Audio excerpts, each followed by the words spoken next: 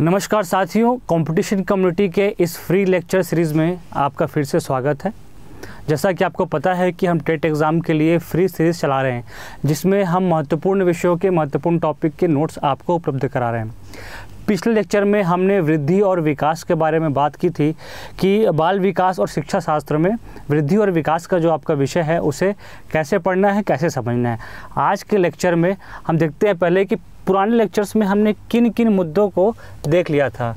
जब हमने बाल विकास की बात की थी तो इसमें हमने देख लिया था कि शिक्षा की अवधारणा एवं शिक्षा का महत्व, शिक्षा का कॉन्सेप्ट क्या है, उसका महत्व क्या है? उसके बाद हमने देख लिया था कि वृद्धि और विकास में क्या समानताएँ हैं और क्या असमानताएँ हैं। वृद्धि और विकास किस प्रकार एक दूसरे से अलग हैं? साथ ही साथ हमने देखा था कि वो कौन कौन से आयाम हैं जिनके आधार पर विकास होता है और विकास की विभिन्न अवस्थाओं का एक जनरल इंट्रो हमने देखा था जो विकास की अवस्थाएँ हैं। वो शैशवावस्था आपकी गर्भावस्था बाल्यावस्था किशोरावस्था प्रौढ़ अवस्था इन सभी अवस्थाओं का हमने इंट्रोडक्शन एक प्रारंभिक परिचय देखा था। आज हम आगे बढ़ेंगे। आ, आज हम देखेंगे कौन कौन सी बातें हैं जिनको हमको समझना है और आगे चल, देखते चलना है। आज हम देखेंगे मुख्य बिंदु, आपके बाल विकास के सिद्धांत। प्रिंसिपल्स कौन कौन से हैं? चाइल्ड डेवलपमेंट के साथ साथ में बाल विकास को प्रभावित करने वाले कौन से कारक हैं? ऐसे कौन से फैक्टर हैं जो कि आपके चाइल्ड डेवलपमेंट को इफ़ेक्ट करते हैं? विकास की अवस्थाएँ, विकास के कौन कौन से स्टेज है? स्टेज में हमने देखा था मूल रूप से अगर हम बात करें तो हम सैसव अवस्था को हमने देखा था। सैसव अवस्था के बाद हमने बाल्य अवस्था को देखा था और बाल्यावस्था में हमने मुख्य रूप से दो चीज़ों को देखा था, एक प्रारंभिक बाल्य अवस्था आपकी और दूसरी आपकी थी उत्तर बाल्यावस्था, यानी बाद की बाल्यावस्था। दो भागों में हमने इनको बांटा था। उसके बाद हमने देखा था क्या आपकी किशोरावस्था। एक जनरल जो हमने टाइम लाइन डिसाइड की थी, वो क्या थी, वो भी आप लोग को याद होगा। कमेंट्स में बता देंगे कि क्या क्या टाइमलाइन हमने इसके देखी थी।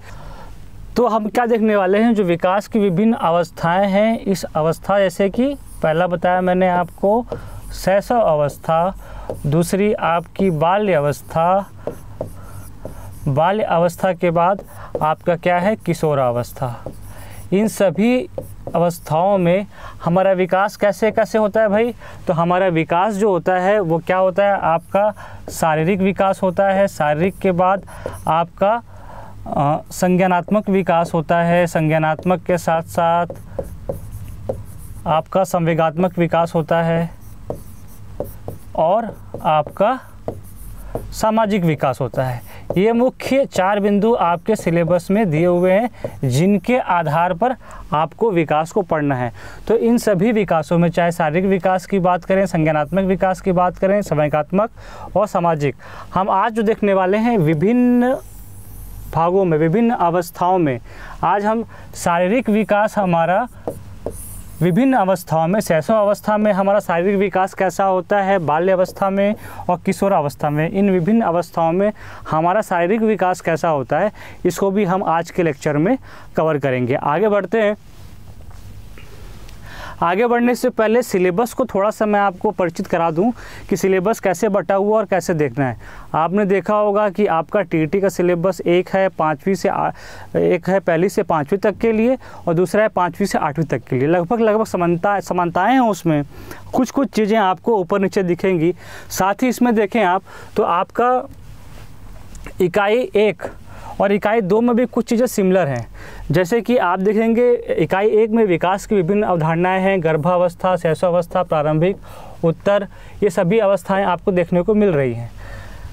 सेकंड पॉइंट बोल रहा है, यहाँ पर शारीरिक, संज्ञानात्मक, सामाजिक और समयगात्मक विकास के बारे में बात कर रहा है।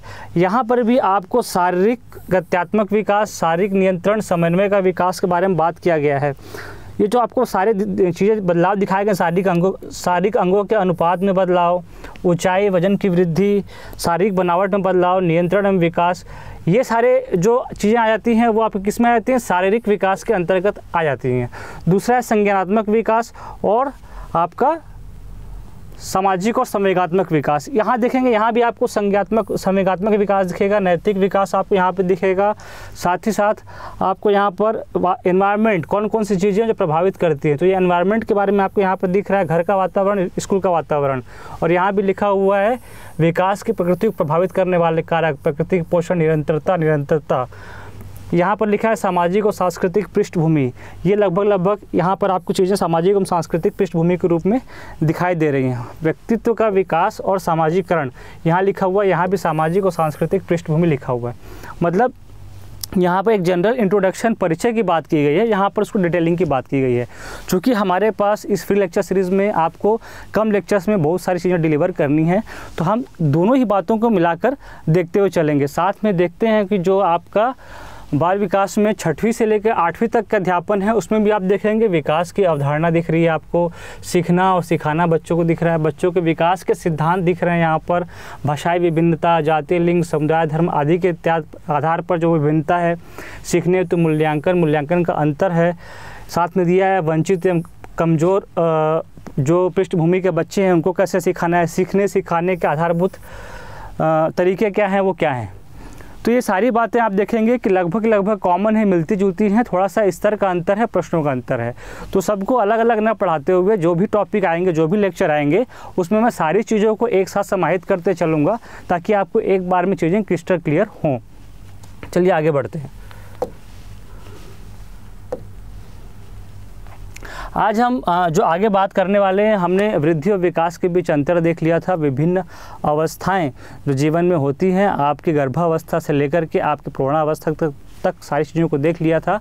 आपके पाठ्यक्रम के हिसाब से, आपके सिलेबस के हिसाब से जो महत्वपूर्ण चार अवस्थाएँ हैं, रिकॉल करिए कौन कौन सी चार अवस्थाएँ हैं। वो अवस्थाएँ थी आपकी शैशव अवस्था, दूसरी अवस्था थी आपकी बाल्य अवस्था बाल्य अवस्था के दो भाग थे प्रारंभिक बाल्यावस्था और उत्तर बाल्यावस्था और तीसरी चौथी जो चीज़ थी वो थी किशोरावस्था। इन्हीं चार अवस्थाओं के बारे में प्रमुख रूप से हमें अध्ययन करना है। क्यों करना है? कि भाई आपको इन्हीं बालकों को क्या करना है? पढ़ाना है, उन्हें शिक्षा देनी है, उनके ज्ञान में वर्धन करना है। ठीक है। अब देखते हैं कि बाल विकास के कौन कौन से प्रमुख प्रिंसिपल हैं, ऐसे कौन कौन से सिद्धांत है। कुछ मुख्य सिद्धांत हैं जिसे आपको जान लेना ज़रूरी है, परीक्षा की दृष्टि से ये आपके लिए महत्वपूर्ण है, जो मुख्य मुख्य सिद्धांत है किसको लेकर के? बाल विकास को लेकर के। तो पहला सिद्धांत जो कहता है, वो कहता है कि निरंतरता का सिद्धांत या प्रिंसिपल ऑफ़ कंटिन्यूटी। भाई, प्रिंसिपल ऑफ़ कंटिन्यूटी, जो निरंतरता का सिद्धांत है, वो क्या कहता है? ये कहता है कि व्यक्ति के जन्म से लेकर के उसके प्रौण होने तक, उसका चाहे वो मंद गति से हो, चाहे तीव्र गति से हो, या तो धीमा हो, या तीव्र गति से हो, लगातार लगातार उसका क्या होता रहता है? विकास। उसका डेवलपमेंट हमको लगातार देखने को मिलता है। लगातार उसके संरचना में, उसके बौद्धिक स्तर में, उसके समझ के स्तर में, उसके शारीरिक स्तर में, लगातार आपको डेवलपमेंट दिखाई देता है। कोई भी परिवर्तन आपका अचानक नहीं होता। आप बोलेंगे कि अचानक किसी बालक की हाइट बढ़ गई। ये अचानक वो व्यक्ति जो है या बालक जो है वो कुशाग्र हो गया। अचानक उसके व्यवहार जो अचानक बदल गया, उसका नैतिक स्तर अचानक बदल गया, उसके इमोशंस में बदलाव, जिस हिसाब से वो इमोशंस होते थे उसके, उसमें अचानक बदलाव दिखाई देने लगा तो ये बिल्कुल भी सही नहीं होगा। तो क्या होता है? विकास एक निरंतर प्रक्रिया है। तो चाहे धीमी गति से हो, चाहे तीव्र गति से हो, लगातार होती रहती है। तो ये प्रिंसिपल कहता है कि आपके जीवन में या बालक के जीवन में निरंतर आपका विकास होता रहता है। दूसरा प्रिंसिपल कहता है व्यक्तिक भिन्नता का सिद्धांत theory of individual difference individual difference कहने का मतलब है कि आपने अपने आसपास अपने घर में देखा होगा, दो बालक जो समान रूप से हैं। लेकिन समान होते हुए भी, समान उम्र है उनकी, लेकिन समान होते हुए भी उनके बीच में कुछ डिफरेंस दिखाई देंगे। डिफरेंस कैसे दिखाई देंगे? वो इंडिविजुअल डिफरेंस दिखाई देंगे। एक बालक है और ये दूसरा बालक है। दोनों बालकों के उम्र समान होगी। अगर दोनों चार वर्ष के हैं, ये भी चार वर्ष का है तो दोनों के हो सकता है शारीरिक बनावट में अंतर हो। बनावट के साथ साथ उनके बौद्धिक स्तर में अंतर हो। ऐसे बहुत सारे अंतर हैं जो दोनों में दिखाई देते हैं, जो कि उसकी इंडिविजुअल पर्सनालिटी को बताते हैं। भाई, मैं हूँ, आप हैं, दोनों अलग अलग होंगे। व्यक्तिक जो इंडिविजुअलिटी होगी हमारी, वो अलग अलग होगी। दोनों बिल्कुल समान रूप से नहीं हो सकते। दोनों इंसान ही हैं, दोनों की उम्र समान है, लेकिन फिर भी इंडिविजुअल आइडेंटिटी उसमें मिलेगी। तो ये कहता है, व्यक्तिक भिन्न, ये क्या कहलाता है? व्यक्तिक भिन्नता का सिद्धांत कहलाएगा। अगला सिद्धांत देखते हैं। अगला प्रिंसिपल क्या कहता है? अगला प्रिंसिपल जो है, वो है आपका परिमार्जिता का सिद्धांत। परिमार्जिता कहने का मतलब है रेक्टिफिकेशन हम बोलते हैं ना अपने जनरल लाइफ में रेक्टिफाई करना। तो हिंदी शब्द थोड़ा सा क्लिष्ट आपको लगता है कि परिमार्जिता का सिद्धांत क्या है भाई? किसे कहेंगे कि परिमार्जिता क्या कहलाती है? तो इसको समझने के लिए आप सिंपल सा समझिए कि हर बालक में, जो बालक छोटे से बड़ा हो रहा है, उसमें कुछ निश्चित सुधार करके, कुछ एक्स्ट्रा प्रयास लगा करके, कुछ एफर्ट्स लगा करके, क्या किया जा सकता है? उसकी विकास की गति को, उसके डेवलपमेंट के डायरेक्शन में क्या किया जा सकता है? सुधार किया जा सकता है। फॉर एग्ज़ाम्पल कोई बालक यदि शारीरिक रूप से हष्ट पुष्ट नहीं है, कमज़ोर दिख रहा है तो उसे आप शारीरिक व्यायाम करवा करके उसके पौष्टिक आहार को बढ़ा करके या उसके आहार में पौष्टिकता को बढ़ा करके अगर कोई बालक जो है बौद्धिक रूप से कुशाग्र नहीं है तो उसे आप अभ्यास द्वारा या ट्रेंड करके या कोई बालक अगर हॉकी खेलने में ट्रेंड नहीं है तो उसे आप हॉकी की ट्रेनिंग दे करके, उसे अभ्यास करवा करके क्या कर सकते हैं? उसके विकास की गति को एक दिशा दे सकते हैं, उसमें सुधार कर सकते हैं, उसमें परिवर्तन कर सकते हैं। अगला सिद्धांत जो है, वो कहता है कि डायरेक्शन ऑफ़ डेवलपमेंट मतलब विकास की दिशा। विकास की दिशा का सिद्धांत इसे हम कहते हैं। भाई, विकास की दिशा कहने से क्या अर्थ है हमारा? मतलब डायरेक्शन ऑफ़ डेवलपमेंट कहने से क्या मतलब है? डायरेक्शन ऑफ़ डेवलपमेंट कहने का मतलब है कि किसी भी बालक का विकास किसी विशेष दिशा में होता है। अब वो दिशाएँ कैसी होती हैं तो इसको मुख्य आप दो बिंदुओं पर समझ सकते हैं। पहला और दूसरा, पहला विकास कहता है मस्तकाधुमुखी क्रम थोड़ा सा क्लिष्ट हिंदी है, समझने का प्रयास करिएगा। दूसरा है समीपता विकास क्रम अब दोनों विकास क्रम में क्या अंतर है? ये क्या बोल रहा है? मस्तकाधोमुखी विकास क्रम अब इसे समझिए, जब भी भ्रूणावस्था से लेकर अगर हम किशोरावस्था तक देखेंगे, खास करके भ्रूणावस्था में, आपने बहुत सारी पिक्चर्स देखी होंगी, या आपने पढ़ाई के दौरान स्टडी के दौरान देखा होगा, एक महिला के महिला के भ्रूण में बच्चे का विकास कैसे होता है? ये मान लीजिए भ्रूण है तो आपने एक ऐसी पिक्चर देखी होगी। ठीक है, इस तरह का ऐसा भूण देखा होगा। इसमें हम क्या देखते हैं कि सिर वाला पार्ट जो है, वो आपका क्या होता है? पहले विकसित होता है। उसके बाद आपका बाकी नीचे का भाग विकसित होता है। बच्चा जब बर्थ लेता है, बच्चे का जब जन्म होता है तो जन्म के समय भी बच्चे का सिर का भाग क्या होता है? वो अपेक्षाकृत सारे शरीर के भाग से एक बार ड्राइंग करूँ ताकि आपको अच्छे से समझ में आए।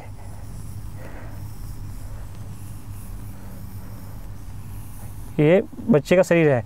तो उसके शरीर के भाग का ऊपरी हिस्से का भाग का विकास पहले होता है और नीचे के भाग का विकास क्या होता है? बाद में होता है। ठीक है? तो इस विकास क्रम का कहने का मतलब है कि आपका विकास क्रम हमेशा ऐसा ऊपर से नीचे की तरफ़ होगा। पहले आपके ऊपरी हिस्से का विकास होगा, फिर निचले हिस्से का विकास होगा। इसे ही क्या कहते हैं? मस्तकाधोम मस्तकाधोमुखी विकास। ठीक है? दूसरा कॉन्सेप्ट कहता है समीपता विकास क्रम। अब ये क्या है भाई? समीपता विकास क्रम कहने का मतलब है, भाई, अब एकदम से ऐसा नहीं होगा, बिल्कुल भी, कि आपकी लंबाई एकदम बढ़ जाए। कोई भी व्यक्ति एकदम से ऐसा लंबा हो जाए, उसके बाद दो वर्ष तक ऐसा लंबा बढ़ा, उसके बाद वो क्या करने लगे? ऐसा बढ़ने लगे। ऐसा कभी होता है क्या? बिल्कुल नहीं होता है।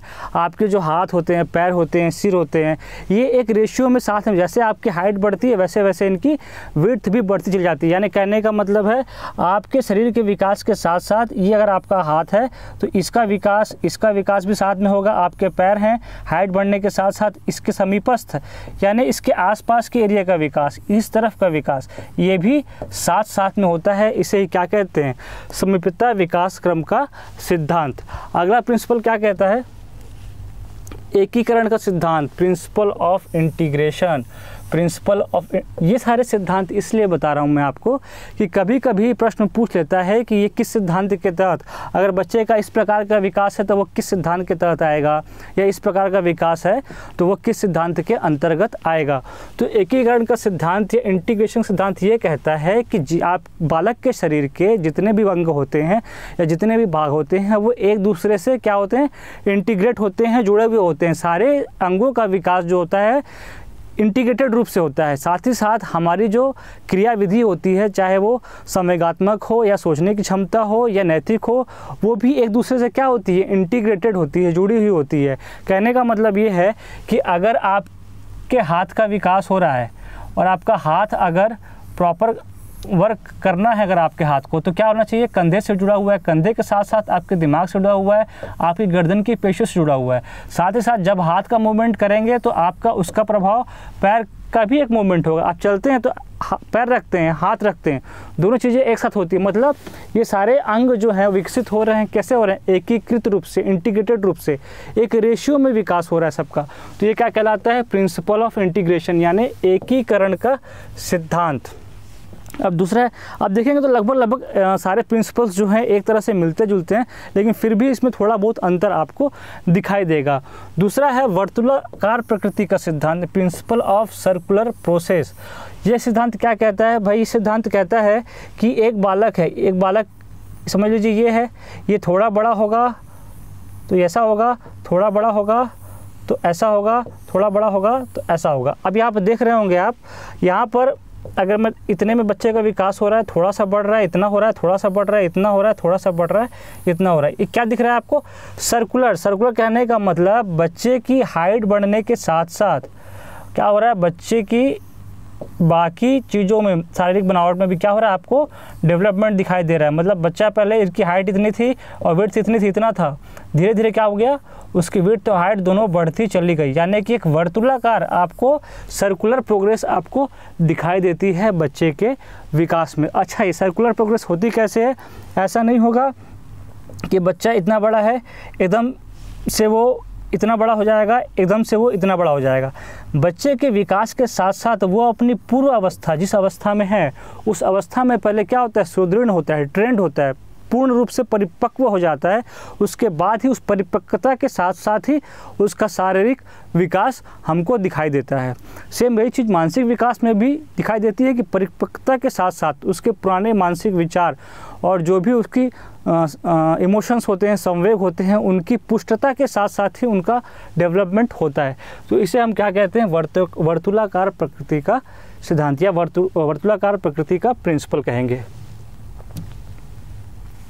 अब देख लेते हैं ऐसे कौन कौन से यहाँ, जो फैक्टर मैं आपको बताने वाला हूँ, जो कि आपके विकास के को या बच्चे के विकास को प्रभावित करते हैं।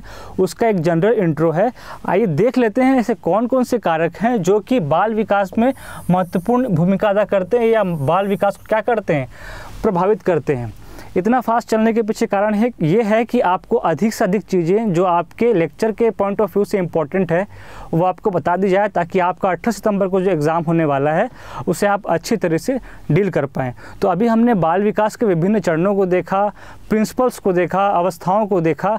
अब हम देख लेते हैं ऐसे कौन कौन से कारक हैं जो कि बाल विकास को प्रभावित करते हैं। बाल विकास को प्रभावित करने वाला जो जो आपका पहला कारक है, वो है आपका वंशानुगम, यानी हेरिटेंस। इनहेरिटेंस ये जो है कैसे प्रभावित करता है, इसका डिटेल आगे लेक्चर में हम चर्चा करेंगे। दूसरा है आपका वातावरण। किस वातावरण में बालक रहता है? आसपास का उसका एनवायरनमेंट कैसा है, जिसमें उसका पालन पोषण हो रहा है, वो भी बच्चे के विकास में बहुत बड़ी भूमिका निभाता है। तीसरा है स्कूल। आप स्कूल के आपके एनवायरनमेंट कैसा है? आप स्कूल में पढ़ रहे हैं, वो टीचर्स कैसे हैं? आप जिनके साथ पढ़ रहे हैं, वो कैसे हैं? साथ ही साथ उस विद्यालय का वातावरण कैसा है, ये सारी बातें आपके विकास को प्रभावित करती हैं। साथ ही साथ लैगिंग भिन्नता, यानी जेंडर डिफरेंस लड़, बालकों में और बालिकाओं में जो विकास होता है, दोनों विकास में थोड़ा बहुत अंतर हमको दिखाई देता है। तो ये आपका जो जेंडर का गैप है डिफरेंस है, ये भी आपके विकास को प्रभावित करता है। अंतस्त्रावी ग्रंथियाँ एंडोक्राइन ग्लैंड भी आपके डेवलपमेंट को या बच्चे के डेवलपमेंट को प्रभावित करती ये सारी बातें आपको ध्यान रखनी है जब आप टीचर बनेंगे या आप जब परीक्षा हॉल में बैठेंगे। देखिए, सारी बातें जनरल हैं जो हमारे बाल्यकाल में हमारे साथ घटित हुई हैं साथ ही साथ आपका बच्चे के बाल्यकाल में घटित हुई हैं। आपके पड़ोस में, आपके परिवार में किसी बच्चे के बाल्यकाल से लेकर के किशोरावस्था तक आने तक जो भी परिवर्तन उसके में दिखाई दे रहे हैं, हमने कभी ऑब्ज़र्व नहीं किया। लेकिन अगर पढ़ते पढ़ते आप उसको ऑब्ज़र्व करते हैं इमेजिन करते चलते हैं, आप उन सारी बातों को याद करते चलते हैं तो आप आसानी से समझ जाएँगे कि ये सारी चीज़ें क्या हैं सारी बातें क्या हैं। और परीक्षा हॉल में आपको ऐसे ही रिकॉल करना है, ताकि आपको चीज़ें आसानी से याद आ जाएँ। इस एग्ज़ाम में बहुत सारे प्रश्नों को आप केवल इस बात से हल कर सकते हैं कि आपके अनुभव क्या रहे हैं अपने अपने बाल्यकाल को लेकर के या दूसरों के बाल्यकाल को लेकर के या आपके आसपास के वातावरण को लेकर के। अगली जो चीज़ प्रभावित करती है, वो है आपका क्या है? निद्रा और विश्राम। Sleep and rest. भैया, आपके विकास में या बच्चे के विकास में निद्रा का या सोने का और विश्राम करने का बहुत ज़्यादा महत्व होता है। कहा जाता है कि एक व्यक्ति को, एक सामान्य व्यक्ति को छः से आठ घंटे और बच्चों को तो और। आप देखेंगे अलग अलग बाल्यावस्था में जब किसी घर में बच्चे होते हैं, बहुत छोटे होते हैं एकदम, जब वो लगभग तीन चार महीने के होते हैं तो उनके सोने की अवधि काफ़ी ज़्यादा होती है। जैसे जैसे बड़े होते जाते हैं, उनके सोने की अवधि कम होती जाती है। साथ ही साथ उनका सोने का टाइम टेबल भी आप देखेंगे तो आपको अलग अलग दिखाई देता है। कोई बच्चे रात में सोते हैं, कोई दिन में सोते हैं। अब इसके पीछे एक कहावत है, पारिवारिक या सामाजिक है, माताएँ बहनें अच्छे से बता पाएँगी कि जो बच्चा रात में पैदा होता है, वो रात में ज़्यादा सोता है, जो दिन में होता है, वो दिन में ज़्यादा सोता है। खैर, ये कोई फिक्स इसका साइंस नहीं है, लेकिन ये चीज़ इंपॉर्टेंट है कि किसी भी बालक के विकास में उसकी नींद का, उसके आराम का ज़्यादा महत्वपूर्ण रोल है। साथ ही साथ आपका न्यूट्रिशन फ़ूड पौष्टिक भोजन किस तरह का आपने देखा भी होगा, सरकार भी समय समय पर बच्चों के लिए बहुत सारी योजनाएँ लाती हैं कि जो बच्चे कुपोषण का शिकार हो चुके हैं, जिन्हें पूरा पोषण नहीं प्राप्त हो पा रहा है, उनके लिए भी बहुत सारी स्कीम्स लाई जाती हैं। तो एक बालक के विकास में, क्योंकि बाल्यावस्था में या किशोरावस्था में जो उसको पोषण मिलेगा, उसी पोषण के आधार पर उसका शरीर डेवलप होगा, उसका दिमाग डेवलप होगा, उस और शरीर और दिमाग पर ही उसका आगे का फ्यूचर का डेवलपमेंट क्या करेगा? डिसाइड करेगा। तो ये भी बाल, बाल्य विकास को या चाइल्ड डेवलपमेंट को बहुत सीमा तक प्रभावित करता है, लेकिन इन सारी चीज़ों में दो महत्वपूर्ण रूप है, वंशानुक्रम और वातावरण।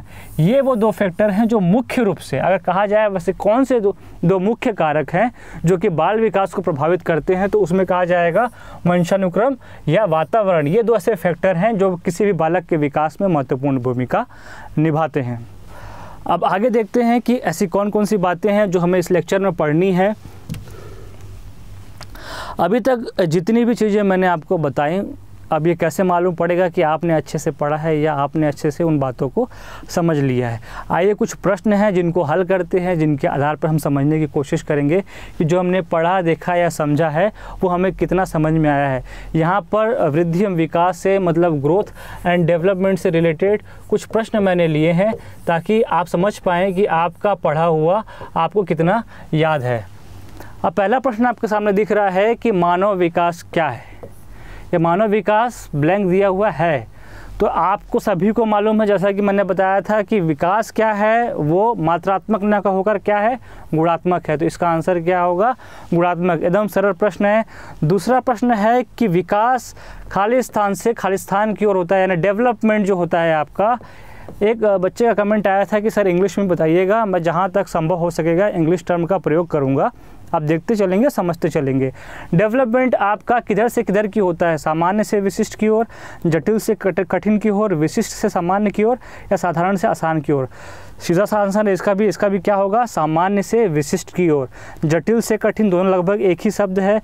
विशिष्ट से सामान्य हो नहीं सकता, क्योंकि जब विकास होता है, प्रारंभिक अवस्था में हम क्या होते हैं? सामान्य होते हैं। और हमारे विकास का क्रम में ही हम धीरे धीरे क्या होते जाते हैं? विशिष्ट होते जाते हैं। और साधारण और आसान लगभग लगभग एक सिमिलर वर्ड हमको दिखाई देता है। अगला प्रश्न देखते हैं, क्या है? विकास की गति, यानी speed of development English medium वाले स्किल स्पीड ऑफ़ डेवलपमेंट एक व्यक्ति से दूसरे व्यक्ति में भिन्न होती है, किंतु एक ब्लैंक नमूने का अनुमान करती है।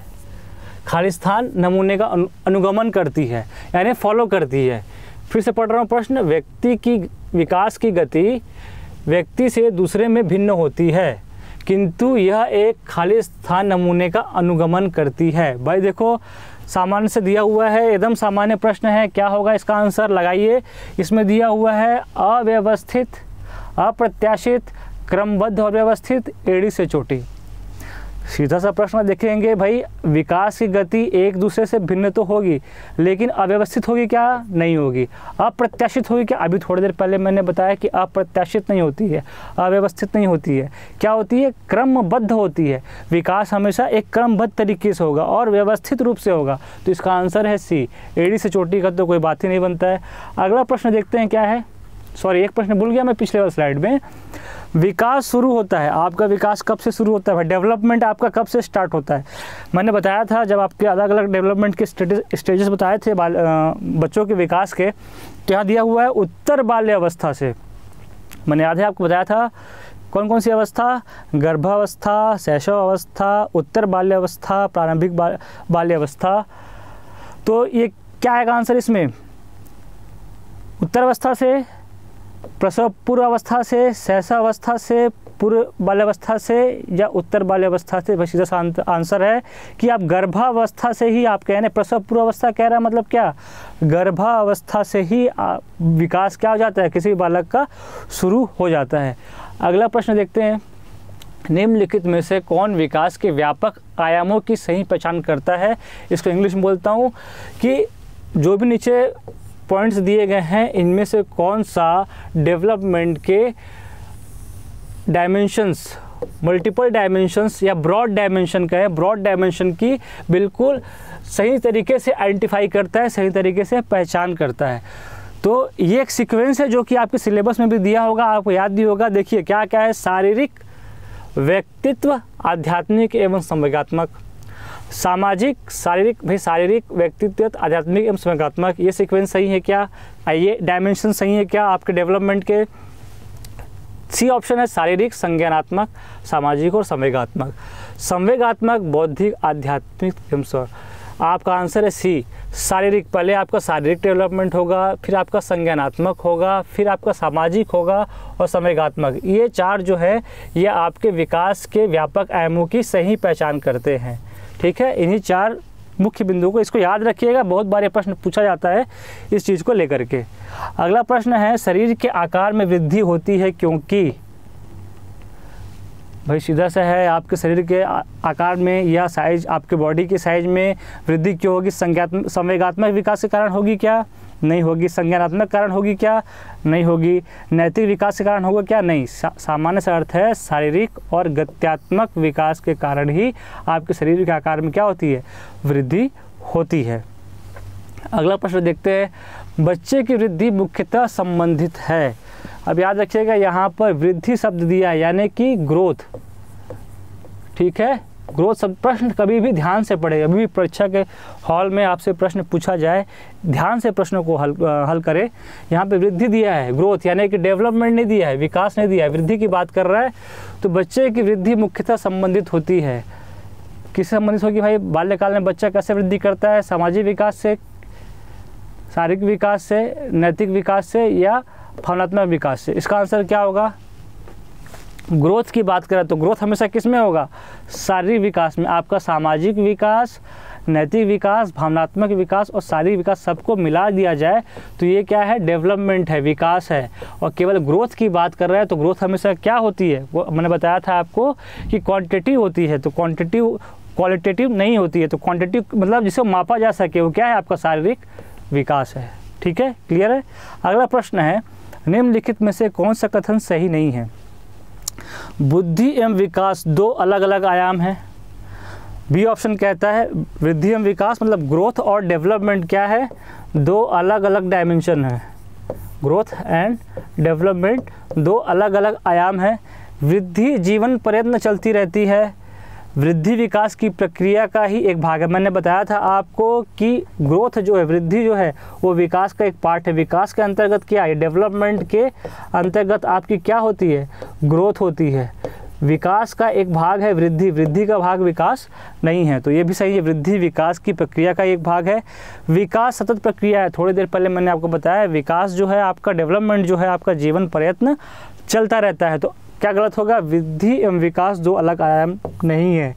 ये वृद्धि जो है, वो विकास का ये क्या है? पार्ट है। अगला प्रश्न देखते हैं। विकास में वृद्धि से तात्पर्य है। अब ये थोड़ा सा कन्फ्यूज़न वाला प्रश्न है। विकास और वृद्धि दोनों डाल दिया है। मतलब डेवलपमेंट और क्या दिया है? ग्रोथ तो क्या बोल रहा है? विकास में वृद्धि मतलब डेवलप डेवलपमेंट विकास के ग्रोथ से क्या तात्पर्य क्या समझते हैं आप? ज्ञान में वृद्धि को विकास कहा जाएगा, संवेग में वृद्धि को विकास कहा जाएगा, वज़न में वृद्धि को विकास कहा जाएगा, या आकार, सोच, समझ, कौशलों में वृद्धि को विकास कहा जाएगा। सीधा से इसका उत्तर है कि केवल ज्ञान में वृद्धि को आप विकास नहीं कह सकते, केवल संवेग में वृद्धि को आप विकास नहीं कह सकते, केवल वज़न में वृद्धि को आप विकास नहीं कह सकते। यानी कि आकार, सोच, समझ और कौशल तीनों में जब सब, चारों में जब वृद्धि होगी तो इसे आप विकास की श्रेणी में, डेवलपमेंट की कैटेगरी में काउंट कर सकते हैं। अगला प्रश्न है, निम्नलिखित में से कौन सा वृद्धि और विकास के सिद्धांतों से संबंधित नहीं है? कौन सा नहीं है भाई? वृद्धि और विकास ग्रोथ और डेवलपमेंट दोनों के प्रिंसिपल से संबंधित नहीं है रिलेटेड नहीं है। निरंतरता का सिद्धांत, भाई आपका विकास का सिद्धांत है। वर्गीकरण का सिद्धांत, समन्वय कोऑर्डिनेशन व्यक्तिकता इंडिविजुअलिटी का प्रिंसिपल बताया था मैं आपको। समन्वय कोऑर्डिनेशन भी होता है, किसके बीच, शरीर के विभिन्न अंगों के बीच कोऑर्डिनेशन होता है। वर्गीकरण बाइफर्केशन कहीं भी वर्गीकरण जो है, वो आपका वृद्धि और विकास से सिद्धांतों से संबंधित नहीं है तो आपका आंसर क्या होगा? बी ये कुछ प्रश्न थे जिसके आधार पर मैंने आपको बताया कि कैसे प्रिंसिपल्स होंगे और उनसे रिलेटेड प्रश्न कैसे होंगे और उन्हें आपको कैसे हल करना है। चलिए आगे बढ़ते हैं कि आगे कौन कौन सी मुख्य बातें हमें देखनी है। आज के लेक्चर में विकास की विभिन्न अवस्थाएँ और विकास की विभिन्न अवस्थाओं में भी हम देखने वाले हैं कि आज इस लेक्चर में हम क्या कवर करने वाले हैं। विकास की विभिन्न अवस्थाओं में आज हम शैशव अवस्था में आपके शारीरिक विकास को इस लेक्चर में कवर करने का प्रयास करेंगे। कौन सा विकास? आपका शारीरिक, फ़िज़िकल डेवलपमेंट कैसे होता है शैशव अवस्था में? इसके पहले हम कुछ कुछ मुख्य बातें हैं जो शारीरिक अवस्था में होती हैं, उसके बारे में देख लें। शारीरिक विकास जो होता है क्या क्या मुख्य बातें होती हैं? आपने देखा होगा, एक बालक जो होता है, एक बच्चा होता है, वो केवल अपनी माँ से प्यार करता है, माँ को समझता है। उसके अंदर प्रेम की भावना होती है। उसके अंदर क्रोध की भावना होती है। उसके अंदर खुशी की भावना होती है। ऐसे कुछ भावनाएँ होती हैं जो उस बच्चे के अंदर दिखाई देती है। एक बच्चा जो होता है बालक जो होता है लगभग पाँच से छः वर्ष की आ, सुन एक वर्ष से लेकर के छः माह से लेकर के या शिशु अवस्था से लेकर पाँच से छः वर्ष की आयु तक वो अपनी माँ की आवाज़ और अन्य औरतों की आवाज़ में आसानी से अंतर कर लेता है, उन्हें समझ लेता है, पहचान लेता है। वो इस समय पर रोना जानता है, किसी भी चीज़ के लिए जब उसे कुछ आवश्यकता महसूस होती है तो क्या करता है? रोता है। रो करके बताना चाहता है कि मुझे भूख लगी है, मुझे प्यास लगी है। वो साथ ही साथ क्या करता है? प्रेम करता है। साथ ही साथ क्या होता है? उसके अंदर क्रोध उत्पन्न होता है। ऐसी मुख्य मुख्य बातें होती हैं जो कि आपको अवस्था में आप किसी बालक को ऑब्ज़र्व करेंगे तो वहाँ आपको दिखाई देगा कि एक बालक जो है किस तरह से बिहेवियर कर रहा है। साथ ही साथ क्या कहा क्या कहा जाता है इसमें? खिलौनों का काल। बच्चा जो होता है, खिलौनों के साथ खेलता है, उसके आप किसी एक वर्ष या दो वर्ष के बालक को देखेंगे तो गुड्डा या गुड़िया लेगा, उसके साथ सोएगा, उसके साथ खेलेगा, उसके साथ बातें करेगा, जैसा कि हम उससे बात करते हैं, वो उस तरह की बातें करता है, वो आपका अनुकरण करता है। अनुकरण कर लें कह लें या कार्य की पुनरावृत्ति कह लें। कैसे अनुकरण करता है? भाई, आप जैसा करेंगे, आप जैसे उससे बातें करेंगे, वैसे आपसे बातें करेगा। आप जिस प्रकार से हंसेंगे, वैसा वो हंसेगा। जब एक बार आप बच्चे को हंसा देते हैं तो क्या करता है? वो भी हंसता है। फिर आपकी तरफ़ देखता है कि आप हंसें तो मैं फिर हंसूँ। तो ये सारी एक्टिविटी जो हमको कहाँ दिखाई देती है? सहसो अवस्था में दिखाई देती है एक बच्चे के अंदर। अब हम बात करने वाले हैं इसके शारीरिक विकास की। शारीरिक विकास किस प्रकार से होता है? एक किस आयु में किस प्रकार से हमको देखने को मिलेगा। तो सबसे पहले हम बात करेंगे उसकी लंबाई की लंबाई के समय किसी भी बालक की या बालिका की जो औसत लंबाई होती है, वो बालक की लंबाई कितनी होगी? इक्यावन दशमलव पाँच, लगभग सेंटीमीटर इसकी हाइट होती है और बालिका की लगभग इक्यावन सेंटीमीटर होती है। लेकिन छः वर्ष तक आते आते उसकी लंबाई की बालक की लंबाई लगभग 108 सेंटीमीटर और बालिका की 107 सेंटीमीटर के आसपास दिखाई देती है। अच्छा इस समय आपके जन्म से लेकर से पाँच से छः वर्ष की आयु तक उसकी लंबाई में बड़ी ही तेज़ी से वृद्धि होती है। यहाँ पर आपका जो वृद्धि है, वो काफ़ी फास्ट गति से हमको देखने को मिलता है। इसी स्टेज में आपका तीव्र मानसिक विकास होता है, तीव्र शारीरिक विकास होता है, पुनरावृत्ति की प्रवृत्ति पाई जाती है। साथ ही साथ बालकों में प्रेम की भावना जो होती है, वो तीव्र गति से इसी समय पर विकसित होती है। तो हमने देखा कि लगभग तीन माह में हाइट बढ़ कर आपकी सिक्सटी टू हो जाती है छः माह में इतनी हो जाती है, नौ माह में सिक्सटी नाइन पॉइंट फाइव ये हमको उतना याद नहीं रखना है, एक जनरल आइडिया रखना है कि लंबाई किस प्रकार से हमको बढ़ती हुई देखने को मिलती है। दूसरी बात करते हैं वज़न की। तो वज़न भी हम देखें कि जन्म के समय एक बालक का वज़न होता है तीन किलोग्राम होता है और बालिका का तीन किलोग्राम के आसपास होता है। अब यहाँ देख रहे होंगे आप कितने स्पीडली चेंज होता है। लगभग लगभग आप देखेंगे तो आपका दो वर्ष तक आते आते उसकी जो वेट है लगभग तीन गुना के आसपास बढ़ जाता है। एक बालिका का वेट जो है 9.6 केजी हो गया, लगभग दो वर्ष में तीन गुना बढ़ गया। उसके इस अवस्था में जैसा कि मैंने आपको बताया कि भार और लंबाई काफ़ी तीव्र गति से बढ़ने को हमको बढ़ती हुई दिखाई देती है। आगे देखते हैं कहाँ कहाँ हमको डेवलपमेंट या विकास दिखाई देता है शारीरिक रूप से। अब अगर सिर तथा मस्तिष्क की बात करें तो जो इस अवस्था में बालक का सिर होता है या मस्तिष्क होता है, अपेक्षाकृत क्या होता है? थोड़ा बड़ा होता है। लगभग इसके 350 के ग्राम के आसपास जो है जन्म के समय जो है, एक बालक के मस्तिष्क का भार होता है।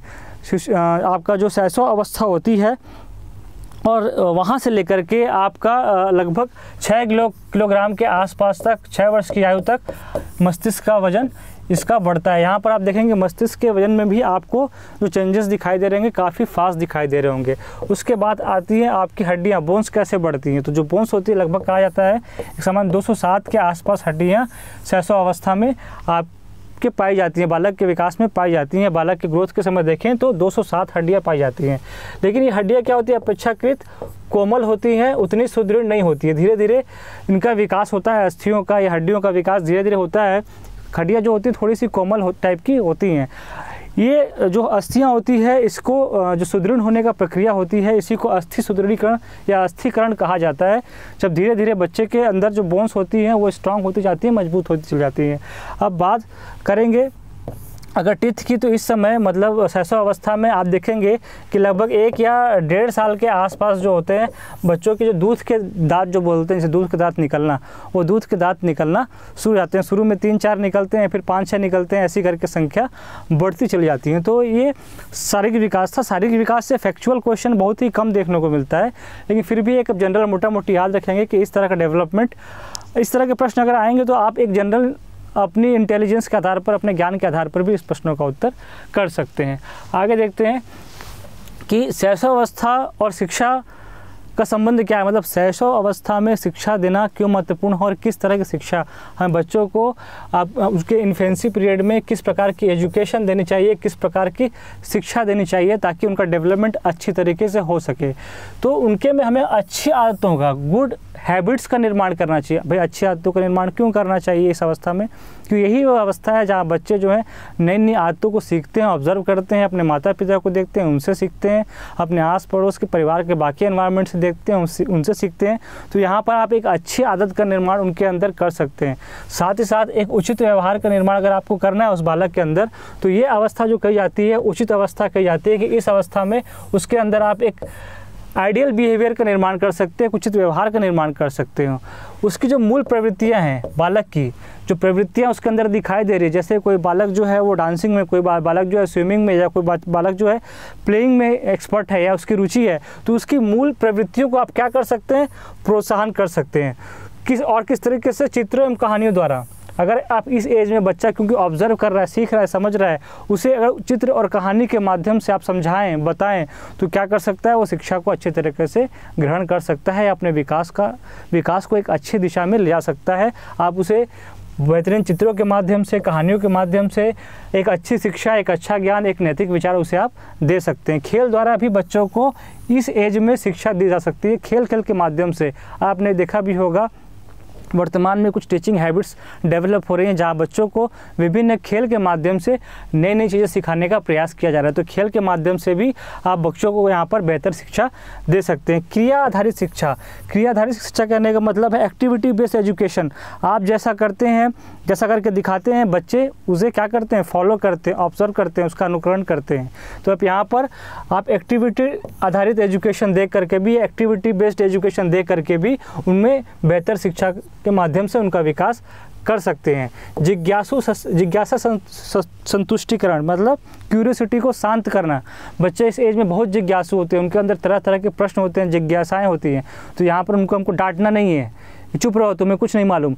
जो भी जिज्ञासा उनके अंदर है, इस समय पर उनकी जिज्ञासा का संतुष्टिकरण किस प्रकार किया जा रहा है, उनकी क्यूरियोसिटी को किस प्रकार शांत किया जा रहा है, ये बहुत इंपॉर्टेंट है। क्योंकि बच्चे मन के कच्चे जब भी उनके अंदर कोई जिज्ञासा होती है, कोई सवाल होती है, उनका जो उनको जवाब दिया जाएगा, वो क्या मान लेते हैं, उसको सच मान लेते हैं और उसी आधार पर अपने जीवन का क्या करते हैं, आगे उन्हीं अवधारणाओं को लेकर चलते हैं, जब तक कि वो मूल रूप से चिंतन कर पाने में या मूल रूप से किसी बातों को समझ पाने में, उसका विश्लेषण कर पाने में सक्षम नहीं हो पाते तो उनकी जिज्ञासा को शांत करना बहुत ज़रूरी है। क्या प्रश्न पूछ रहे हैं और उनकी जिज्ञासा किस उत्तर से शांत करनी है, इसका विशेष ध्यान रखें। उचित वातावरण।